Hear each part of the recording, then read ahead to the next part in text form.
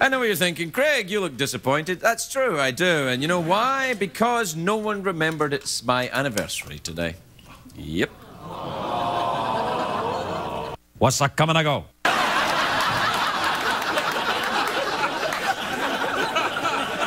What the hell do you think you are? Ah. What the? I don't want your sympathy. I'm just telling the folks at home about it. How dare you? These, these people think they're great because they came to the show while it's raining in LA and everybody's like, Can't believe you went outside when it's Stormwatch 2012. but it is our anniversary. that was my LA newsreader, by the way. You like? Can't believe you went outside. Today in the news, oh, you wouldn't believe it. Mm-mm. Stuff happened. Oh, the Middle East is just a mess. No, the, uh, the this show, this is our 1500th show today. Thanks, thanks. Thank you. Thanks, everybody.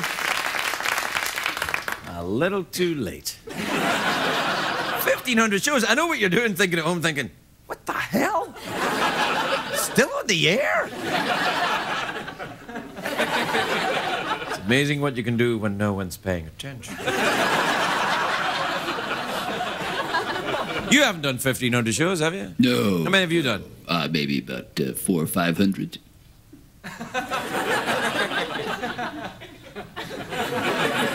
But you didn't think to get anything for my anniversary. I've done 1,500. 1,500. There hasn't even been one uh, day. I haven't had one day off. I come here even when it's raining. Oh, I've got a little something for you. Let me guess. Robot penis. That's disgusting. But, True. yeah.